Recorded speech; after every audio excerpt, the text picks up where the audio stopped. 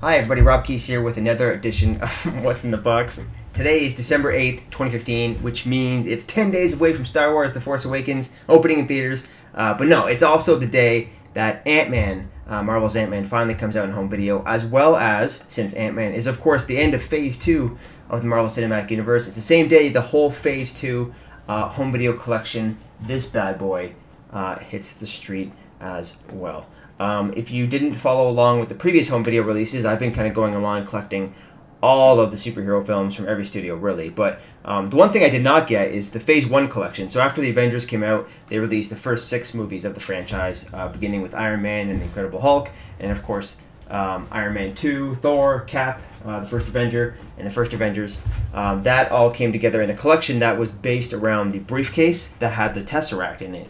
Uh, there was actually a lawsuit for the suitcase design from the German company that made that for the film. But anyways, uh, it was kind of a cool collection, and it included these disc sleeves with this beautiful art by Matt Ferguson. Uh, Mr. Ferguson returns to do the art for this one. Uh, I wrote up an article about that on ScreenRant.com, but uh, we should be able to see that inside this package. So I think I've uh, I haven't opened it yet, but I did start taking out the tape. I think I got it all. I'm not exactly sure how to open it, but right off the bat, you can see through the window viewer there, that is the orb from Guardians of the Galaxy, and within it is the Power Stone, one of the six Infinity Stones. Uh, that's going to be coming into play in Phase 3, which begins next year with Captain America Civil War. And there's a base down there, and inside the base, uh, I think, are some um, collectibles, along with, of course, the disc sleeves for the six movies. And on the side, you can see the six movies that comprise Phase 2, beginning with Iron Man 3 and, and concluding with Ant-Man. I'll talk about Ant-Man a little more later, but first I want to talk about this bad boy. All right. Uh, by the way, this thing is available uh, in Canada and the United States exclusively to Amazon. So if you want to buy it in times for the holidays, uh, you got to go to the Amazon website to get it. You can't get it in, in stores, as far as I know. All right. So uh, it looks like there's a thing back here, tab. I can open it up. Uh, the collection includes, like I said, disc sleeves with the discs for each movie. You get the regular Blu-ray versions and the 3D Blu-ray versions, along with codes for the uh, digital copies of all of them. Uh, there are no DVDs in this. This is Blu-ray and digital copy only. All right, so I got the tab down here open. This is the back of it. Oh, right away there's like an envelope with uh, writing on the back. Looks like uh, looks like it's in Russian actually, like it's something to do with the Black Window Black Widow character. Well, I'll open this bad boy first. Uh, the rest of it looks looks like packing materials and foam back there. I think in here you should see the discs. Oh, there you go. So I'll get to those in a second, but that's just the cardboard disc sleeves uh, with the artwork on them. But before I get to that, let's see what's in this thing. All right, there's a string back here holding it together, so I'll undo that. Ooh, what is in here? A whole bunch of stuff. Take all of this out. Whoa. So there were some pictures of this stuff online, but we didn't actually in the official press release, it didn't actually unveil all the little things that come inside this. So here is a pile of swag, memorabilia from the films.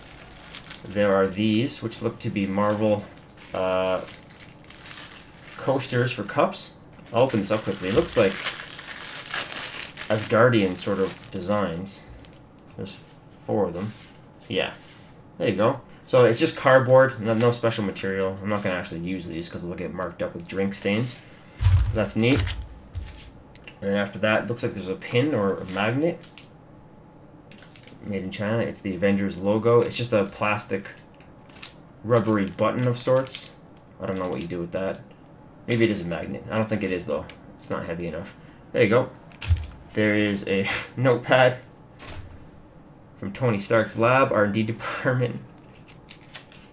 And yeah, the pages are blank, but you can see like kind of like the watermark that says Tony Stark's R&D department on every page in the notepad. Also not going to use those because I don't want to waste them. Next up, Scott called her Antony. Oh, it's a specimen of the... Oh, no, that's kind of sad. That low blow Marvel.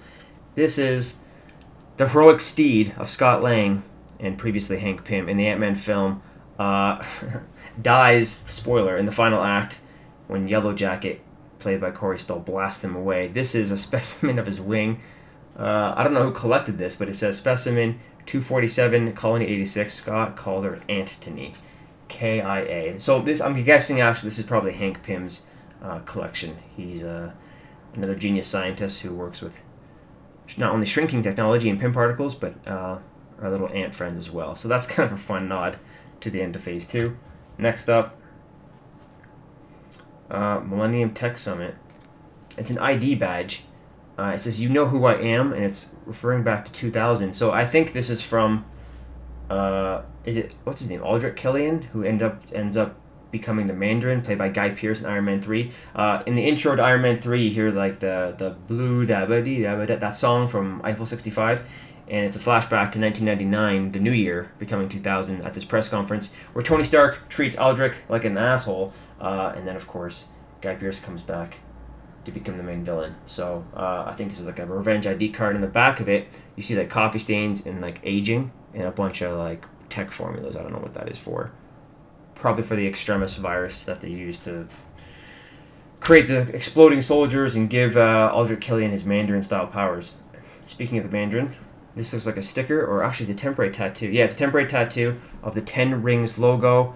Man, I really hope in Phase 4 they bring back um, the Iron Man franchise and, and bring back Ben Kingsley as the real Mandarin next time uh, and get to see more of the Ten Rings. Because they were kind of um, a big player in the background in the first two Iron Man films. And there's even a Ten Rings buyer who shows up as like an Easter egg in the Ant Man film as one of the interested parties in buying the, the new Pym particle tech from uh, Corey Stoll's character.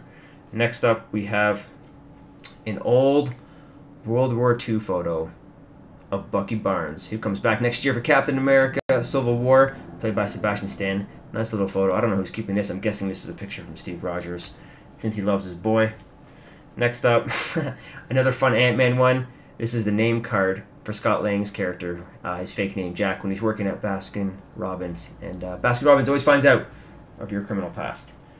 Uh, this looks like a fun Iron Man 3 nod um, oh, what's his name? Adam Adam Pally's character, who's a big Tony Stark fanboy, has a Tony Stark tattoo on his arm, and he kind of makes his face look like Tony Stark, and he's a, that's that's what it looks like.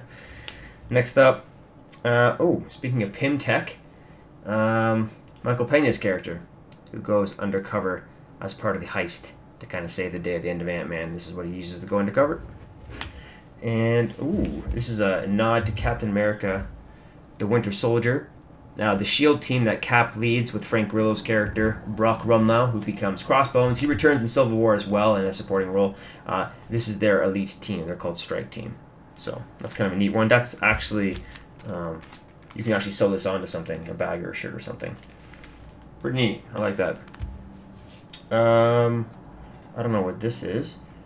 This is a postcard. River Rafter. JD Canoe Rental, Dolores River. I don't know what that's from. Let me know in the comments what that is. This, um, this is totally escaping me. I should probably know this, but I, I, have no idea what this is.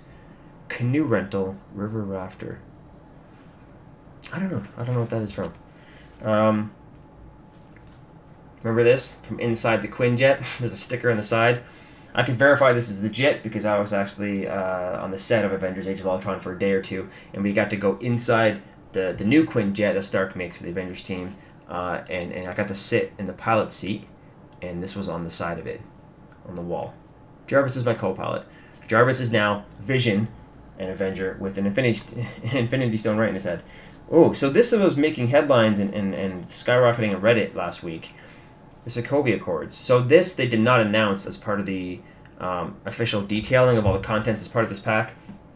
Probably because they wanted to keep it secret until they released the Captain America Civil War trailer. I talk a lot about this in my analysis post of the first Civil War trailer, and I also wrote a separate article explaining what the Sokovia Accords are and how they relate to the Superhuman Registration Act, which was like the centerpiece um, piece of political legislation um, that caused that was at the center of the conflict of the Civil War comics.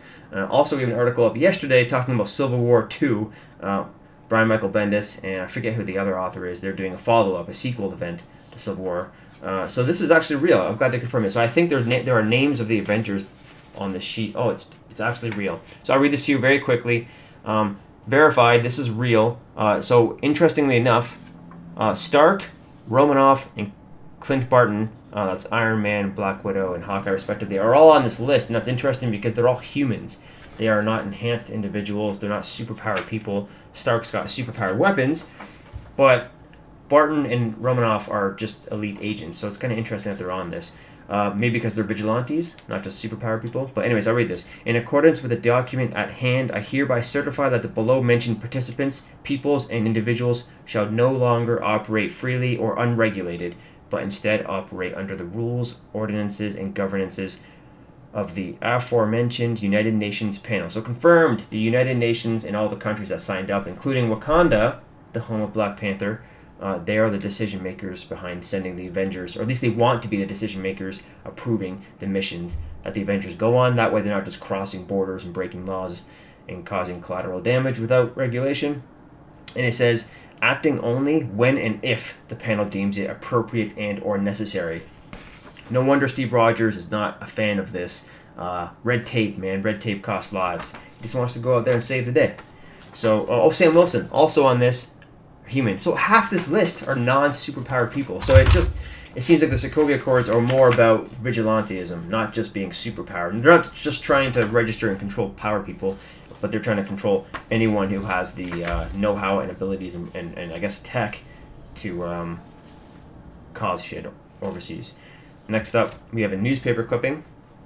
On the back, it says December 17th, 1991. And if you pay attention to the little imagery in uh, the Iron Man films and Captain America the Winter Soldier, this is how Tony Stark's father, Howard Stark, played by Dominic Cooper in the past, and John Slattery in, in, in closer to the present, this is how he passed away. So December 17th, 1991, a long time ago. Uh, Howard Stark, founder of Stark Industries, was confirmed dead this morning after suffering massive internal injuries from a fatal car crash. Uh, of course, well, I, will read more of this. It says his wife, Maria Stark, was also in the car and confirmed dead at the crash scene as well. A full autopsy and crash investigation will be performed to determine the cause of the accident. There's no official statement from Mr. Stark's spokesperson. Uh, several motorists were detained for questioning in connection with the accident, but all have since been released. The, and it, this is in quotes now. The death of such a brilliant inventor has taken us all by surprise and fills us all with extreme grief for such a tremendous loss. Our thoughts and prayers are with the Stark family during this difficult time, said Howard Stark's business partner, Obadiah Stane from the first Iron Man film. So I wonder how involved he actually was. But of course, the theory and, and what's been hinted at in the films is that none other than Bucky Barnes, the Winter Soldier, was the assassin who uh, made this look like an accident. And that's probably why Tony Stark, we're all guessing, has a personal vendetta out for Bucky Barnes uh, in Captain America Civil War because he wants to hold this guy uh, accountable for, for killing his parents. Next up, Ooh, we're getting some deep cuts, Marvel cosmic lore here. This is a diagram, historical diagram, showing what appears to be different aliens, uh, the Eternals, whatever, collecting the six Infinity Stones, the almighty MacGuffins of the Marvel Cinematic Universe. Yeah, interesting. Let's take a look at that. It's semi-transparent, almost like rice paper. It's very, very thin. There you go. We ain't done yet. We got a little bit of Dark Elf lore. I think this was in one of the books they showed in Thor the Dark World. That's actually probably where this came from as well. This wasn't from Guardians of the Galaxy uh, when the Collector kind of taught Star-Lord all about the Infinity Stones. Then it's probably from Thor the Dark World along with this document. Um, so you can see the other side of it. It's very religious looking. So this is all about how Malekith and the Dark Elves came to be. And next up, the final piece is another photo of a frozen Winter Soldier. That's Bucky Barnes uh, in a containment unit. It says Barnes, James Buchanan. It's all written in Russian, so I guess they're the guys who recovered him um, at uh, towards the end of World War II. When we see Bucky fall off that train into the water and loses his arm in the first Captain America film. So that's it. That's all the fun bonus material. Let's get to the main the main show. Again, here's the box.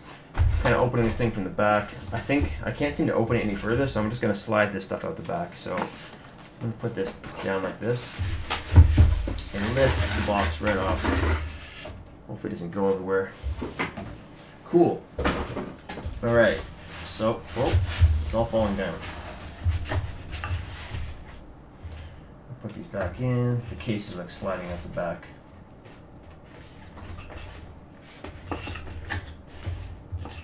Alright, so it's all stacked foam and cardboard, but there you go. That is the orb, the MacGuffin from Guardians of the Galaxy. We'll get to that in a second. Turn this around so you can see it better. So the packing material is not very user friendly, but this is just protection for the top, and it protects the top of the orb. Get rid of that. Open this cardboard up, and I think we can take the orb out next. Wow, that's really in there. All right, so it's just black display cardboard. I've removed it all. Now you can see the orb. It's uh, it feels like toy plastic, but it's got some weight to it because of what's in the inside. So uh, it actually looks a little bigger than what I thought. So on, on the, in the props room on the set of Guardians of the Galaxy, we saw different versions of this. There were some darker versions. There were versions I think that were designed to glow to create that ambient effect when the stone is is uh, I don't know glowing for whatever reason. This I think it may twist. There's a line in the circumference here. Try to open this bad boy up. I don't know if I uh, there's a trick to this. Or if I just pull it apart. Oh, I was twisting it the wrong way. There you go. Look at the detail. The detailing on the inside is very neat. You got kind of like gold and silver. It's all plastic, but it's looks like it's been aged a little bit to look kind of ancient and all cosmic-like. And this side, so both sides empty. No Infinity Stone just yet. I actually think this lights up. Maybe that's why there's weight. Maybe the batteries go on this side. There seems to be like a little lens. Maybe that's a light? I'm guessing that's a light that goes on this side. This is probably the bottom. You can put the orb on top and it glows, I'm guessing. Little instruction booklet. It says battery replacement instructions. So there you go. That's how you get the battery in there. So I probably should read it, but this thing, this part here where the light is, looks like it twists.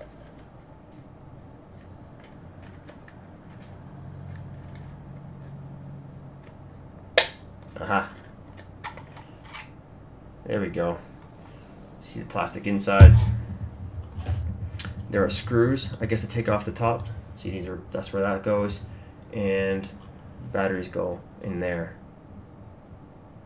You need one, um, you need LR44 batteries. Three of them. Okay, so put that back in here. Close that up. We're not worried about that. We don't need the all of those details. So back to the main unit if we can get this cardboard up. So I'm lifting the cardboard forward here, like that. Oh, I see the orb. I mean, the stone. Very cool. Looks like it's made of glass. And the main base, so it's not that big. So it's not, if you're worried about shelf space, when you're displaying this, it's actually uh, a good size. So get rid of the cardboard, There you go. So this is the part you face frontward. And in the back are the um, disc sleeves. So we can slide these things out. That part's always exposed, by the way. So I guess you can turn it around if you want that facing forward. These are just cardboard sleeves. And uh, you can get a, more details on the artwork on. I'll put a link in the description to the article on this, but there you go, Iron Man 3. All of this art, of course, again, it's by Matt Ferguson who did the artwork. It's on it, it wraps around both sides. It's actually kind of a banner style artwork. That's the big uh, dark elf ship. Captain America, the Winter Soldier. Just beautiful, beautiful artwork. Uh, it's really hard to see in video, but look at how the clouds form the Hydra logo as a helicarrier crashes into the Triskelion Shield headquarters. The Fall of Shield. Guardians of the Galaxy. Beautiful artwork here. See the planets in the background. Ronan and Nebula on the other side. The villains. Look how big Ronan is. There they are.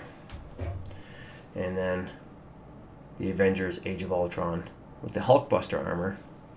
On the other side, you see Ultron and the twins, Quicksilver and Scarlet Witch, and you see Vision flying in the background there. Very nice stuff. Ant Man, it's also pretty cool. He's riding a little, um, little army of ants, and then of course you have a giant yellow jacket on the other side. Very cool. This is the bonus disc, which features Thanos. He's uh, voiced and motion captured um, by Josh Brolin. And the other side, just some cosmic imagery. So there you go. That's the seven disc cases. Actually, I'm curious how many discs. I think there's 12 discs in total, maybe 13 or 14. But here, here's the Guardians of the Galaxy one, for instance. You got the regular Blu-ray and the 3D Blu-ray. So each one of these has two, two discs at least, and then there's the bonus disc here. Um, ooh, it says before creation itself there were six singularities. Then the universe exploded into existence, and the remnant of these systems were forged into concentrated ingots, infinity stones. I'm pretty sure those are the words of the collector from Guardians of the Galaxy, who returns for the sequel, Volume Two. And um, oh, I'm not going to show you that. That is um, uh, digital codes. Okay, so there you go. That's a look at the Phase 2 collection. This is just plastic as well. It's actually kind of flexible, so it's not very thick. It's not industrial plastic by any means. But, oh, last but not least, I didn't show you this yet. The Power Stone. So, uh, I wonder, I got to get a closer look. I, I don't remember, but from the Phase 1 collection, you probably got the, I guess, the blue one of these, right? Which is the uh, Space Stone. Um, I wonder if it's like the same size and material. It'd be cool to kind of collect them all. So this just sits in this oval seat. And that'll look really good when you light it up. I don't know how to actually turn that thing on, but... Oh! It's on. There's a little... That is cool. So, take that off and it's light it, you know, lit up if you want to display it. So how I did that, there's a little switch here beside the light. There you go. Cool. Phase 2 home video collection. Um, so like I said at the top of the video, uh, today's not only the day uh, that the Phase 2 collection comes out, but it's also the day Iron Man comes out. Iron Man. Ant-Man, which is the final uh, film of Phase 2, introducing a much new character. Scott Lang, of course, does return for Captain America Civil War, and there's a sequel already in development. Uh, we have a bunch of articles about that and what director Peyton Reed, who returns for the sequel, is saying about the sequel. Um, he said it's, it's going to be a different genre, and it's called Ant-Man and the Wasp, so Evangeline Lilly will be back in a big way, finally suiting up as a superhero herself. Should be awesome. And as a bonus, the whole reason I'm doing this video is to show you this. So, Ant-Man, they've had some pretty creative marketing. At Comic-Con, I uh, they had these billboards out in the streets. Everywhere you go, there were these little billboards and Marvel representatives. And the billboards were this big, and it was basically a billboard for ants, like an ant-size film billboard that you see at the side of a highway. And I got a photo of that. I put that on Instagram months ago. I'll put a link to that in the description as well. But in that vein... This is what I call the Ant-Man Blu-ray, and what I'm going to show you next is what I call Ant-Man's Ant-Man Blu-ray, which is that little thing right there. Uh, designed by Janky Toys. It's almost like it's like a miniature diorama friendly size little Ant-Man home video case. It's so detailed. I'm taking this thing off. There's only 65 of these in circulation. This is number 38 of 65. So I got this as a fun little thing. But take a look at that. That is just so you can see Look how tiny that is. And it's hard to tell from the video, but the, that actually says the same thing this says, where it's like, includes a first exclusive look at Phase 3. That's what that little tiny text says. And there's a little Blu-ray plastic case in there with all the little details in the back and the barcode even. Pretty impressive, right? So that's made by Janky Toys. I'll put a link to their stuff in the, in the description below. But that's a fun little nod to Ant-Man also available today. So if you don't, if you already have the other movies and are looking to fill out your collection, the Ant-Man Blu-ray is also available. Uh, interestingly, it comes with a black case instead of the standard blue, so that's kind of neat too. Anyways, uh, I have some other videos to record this week as we get closer to the holiday season and the release of Star Wars. I'm going to be pulling up some of my old Star Wars toys I've had for 20 years from the basement and maybe make some fun videos with those. Um, if you want to see more, you want to share your thoughts on what I've um, showing you here. And if you know what that one piece was, the, the river rafting one, I didn't know, let me know in the comments. I'm totally drawing a blank on that one. Um, anyways, and say hi in the comments because I love reading them. And uh, I'll see you guys next time. Cheers.